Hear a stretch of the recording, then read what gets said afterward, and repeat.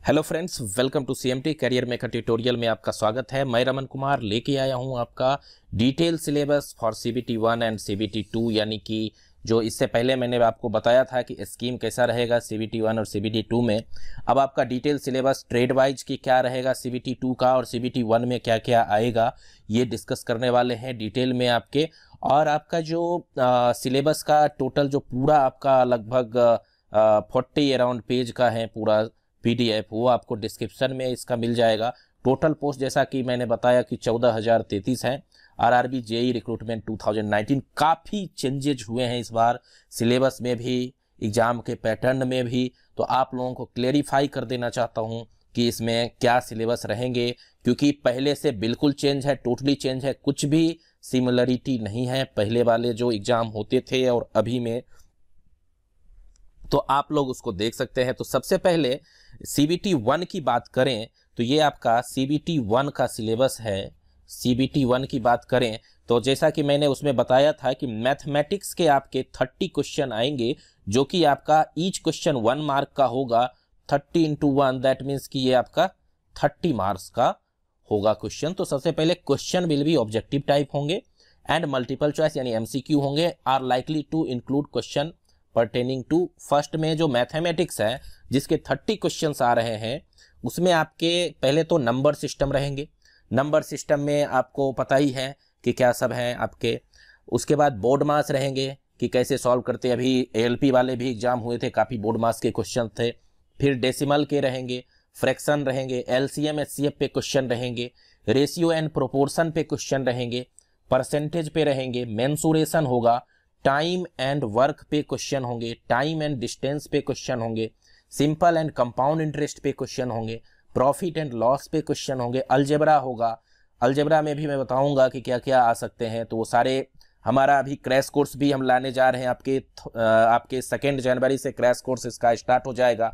साथ ही साथ जो लोग एएलपी का सी बी टू देने वाले हैं, उनके लिए भी जो ट्रेड है आपके इलेक्ट्रॉनिक्स मैकेनिक उसके भी आपके आएँगे। और इसका जो कंबाइन क्योंकि उसमें भी जो सिलेबस है, लगभग आपके ये मैथमेटिक्स सेक्शन और जनरल साइंस सेक्शन बहुत सारे सिमिलरिटीज़ हैं तो अभी वो वो भी स्टार्ट करेंगे आपके सेकेंड जनवरी से इसका जेई का आ जाएगा आपके। दूसरी बात है आपके कि ज्योमेट्री रहेंगे ट्रिगोनोमेट्री रहेंगे एलिमेंट्री स्टेटिस्टिक्स रहेंगे, जिसमें कि आपका मीन मॉड मीडियन इससे रिलेटेड क्वेश्चन होते हैं। स्क्वायर रूट रहेंगे एज कैलकुलेशन होंगे कैलेंडर एंड क्लॉक पे क्वेश्चन होंगे पाइप एंड सिस्टर्न पे क्वेश्चन होंगे मैथमेटिक्स में, जिसका कि टोटल वेटेज है आपका थर्टी मार्क्स, तीस मार्क्स। दूसरी बात है, सेकंड में आपका आता है यहाँ पे जनरल इंटेलिजेंस एंड रीजनिंग, जिसको कि आप लोग रीजनिंग भी बोलते हैं, जिसके 25 क्वेश्चन होंगे।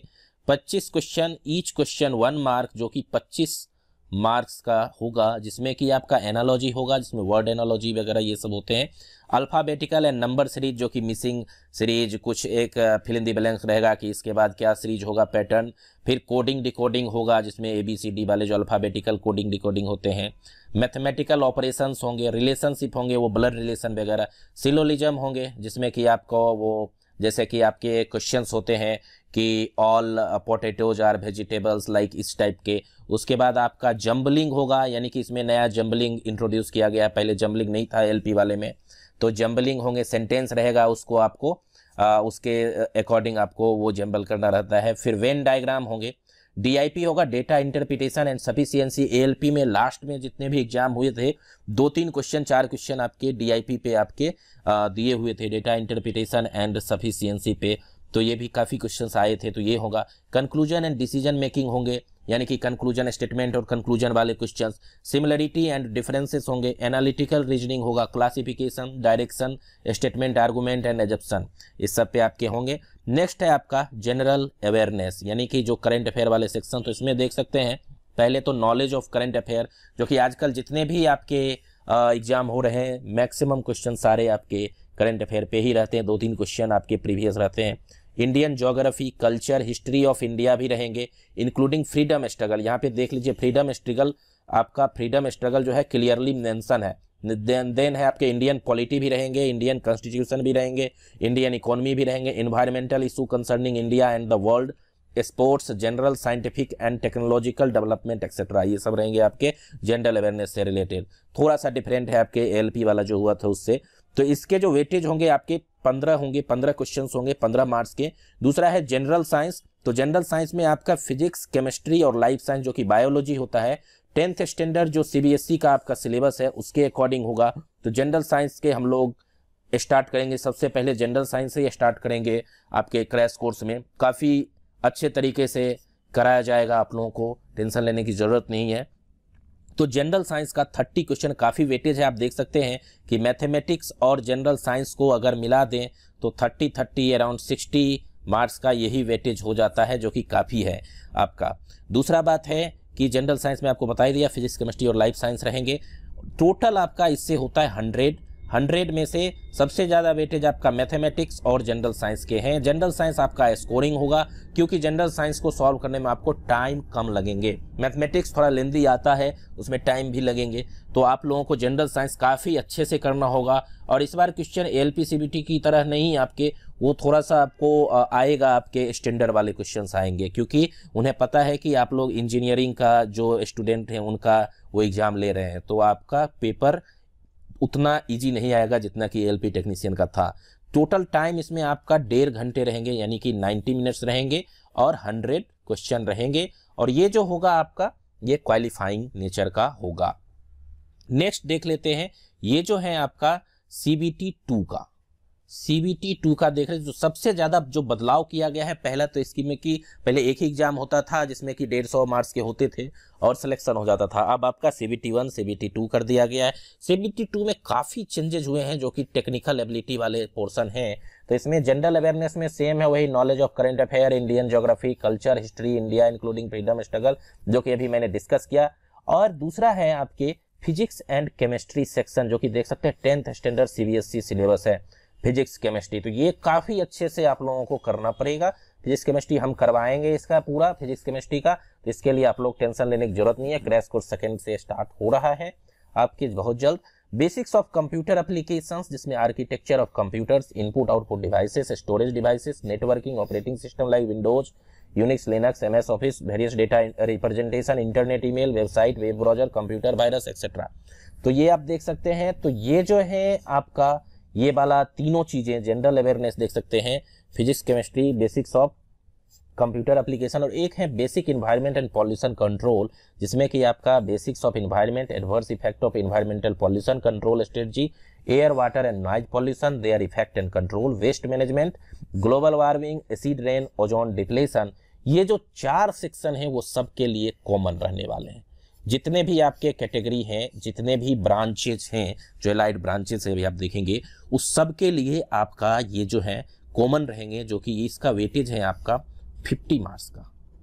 अब यहाँ पे जो टेक्निकल एबिलिटी है, ये आपका जितने भी एलाइड ब्रांचेज हैं, जैसे कि civil allied mechanical allied electronics और इलेक्ट्रिकल सबके ये जो सेक्शन है टेक्निकल क्लियरली मैं आपको बताना चाहता हूँ, ये सबके अलग अलग एग्ज़ाम होंगे। दूसरी बात है कि सी बी में सीबीटी टू में आपको कैलकुलेटर भी दिया जाएगा वर्चुअल कैलकुलेटर अलाउ किया जाएगा। तो इसका मतलब है कि आपका जो क्वेश्चन होगा न्यूमेरिकल्स भी होंगे बहुत ज़्यादा।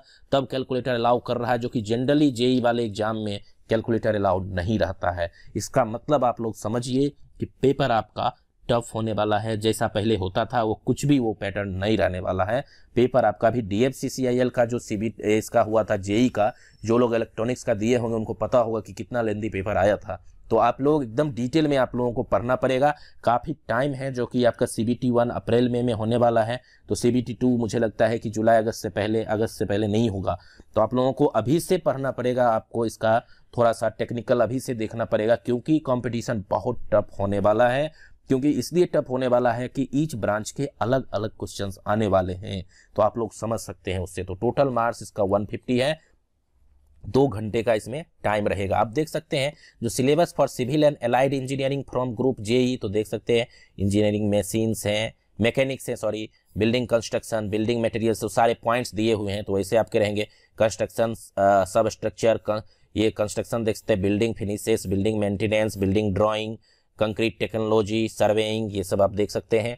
दूसरा बात है, ये कैड ये जियो टेक्निकल इंजीनियरिंग हाइड्रोलिक्स तो काफ़ी ज़्यादा twenty one around environmental engineering तो बहुत ज़्यादा आपका सिविल वालों का अराउंड ट्वेंटी फोर यहाँ पे टॉपिक्स हैं estimating and costing contracts and account तो इसमें आप देख सकते हैं। दूसरा है electrical and allied allied engineering exam group तो हमारा जो क्रैश कोर्स में होगा, हमारे क्रैश कोर्स में आपका जो 50 मार्क्स का जो कॉमन है 50 मार्क्स का जो कॉमन पार्ट है, वो कॉमन पार्ट तो आपका सबका है, वो कराया जाएगा।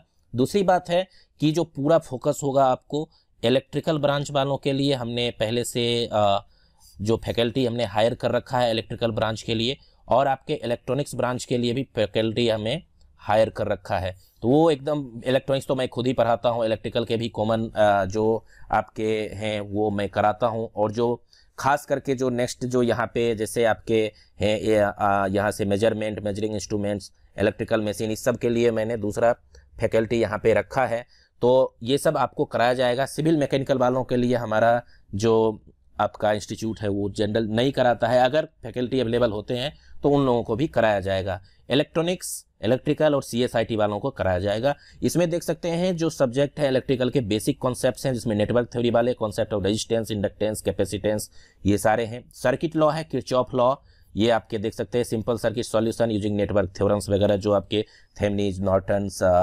सुपरपोजिशन ये सब हैं। फिर मैग्नेटिक सर्किट है कॉन्सेप्ट ऑफ़ फ्लक्स एमएमएफ ये देख सकते हैं। एसी फंडामेंटल है, जिसमें आरएमएस एवरेज ये देख सकते हैं। Resonance polyphase system three phase power DC and sinusoidal RC circuit measurement and measuring instruments हैं तो ये आपके जो देख सकते हैं frequency and phase angle energy meter AC bridges ये सारे हैं। फिर हैं आपके electrical machines DC machines AC machines transformer तो इस सब के लिए हमने फैकल्टी पहले से हायर कर रखा है, वो आप लोगों को कराया जाएगा।